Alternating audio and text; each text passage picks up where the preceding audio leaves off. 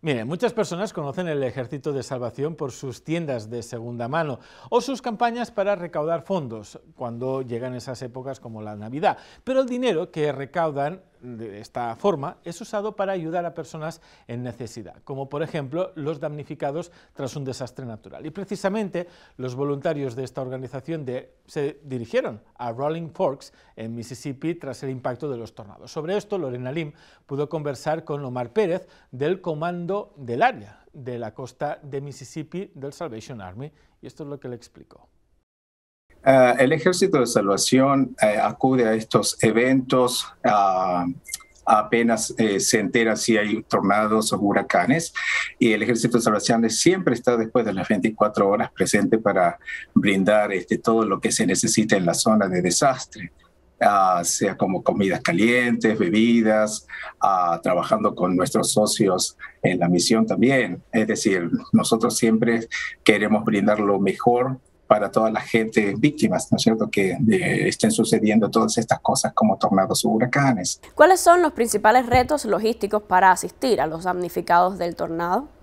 Ah, lo que se está haciendo este, es tenemos nuestras cantinas y vehículos un poquito eh, de menor tamaño cuales pueden acceder a distintos lugares eh, donde vehículos grandes no lo pueden hacer.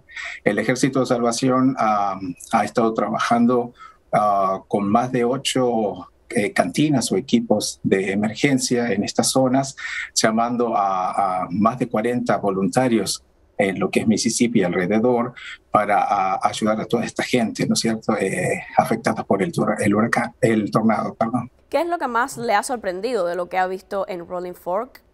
Ah, el primer día, cuando llegábamos a Rolling Fork, Mm, la verdad que fue algo tremendo ver cómo estaba todo destruido, ¿verdad?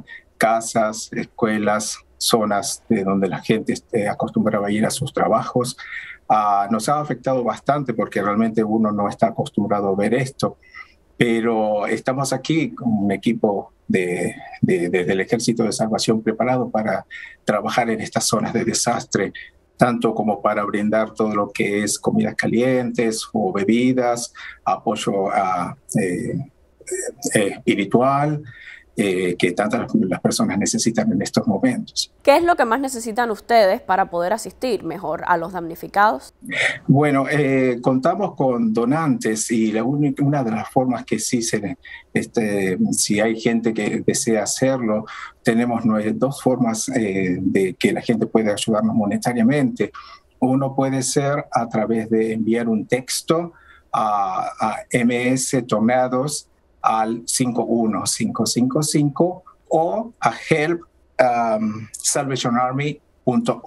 De estas dos formas, aquellas personas que deseen colaborar con el Ejército de Salvación monetariamente serán bien recibidas y serán distribuidas a estos, a estos lugares donde fueron afectados por distintas causas. Estamos en plena temporada de tornados. ¿Hasta qué punto su labor aquí en Mississippi no ha hecho más que empezar y se disponen de asistir a otros damnificados de futuros tornados? Ah, el Ejército de Salvación todavía sigue en las zonas de, donde estamos sirviendo, que uh, es Rolling Fork, eh, Silver City, Winona.